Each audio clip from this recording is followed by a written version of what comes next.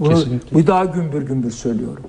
Türkiye Vatan Partisi'nin daha 1980-90'larda ortaya koyduğu Avrasya pro- programına gelmiştir. Çünkü biz bilimsel bir partiyiz. Bizim kılavuzumuz bilim.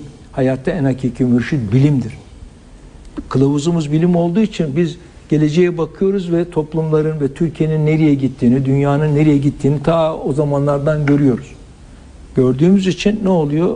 Hayat en sonunda oraya getiriyor ve Vatan Partisi'nin programları zaman içerisinde doğrulanıyor ve Türkiye'nin gündemine geliyor. Bunu, bunu Türk milleti bilecek. Biz bunu Türk milletine söylemekten hiçbir zaman kaçınmayacağız ve çekinmeyeceğiz.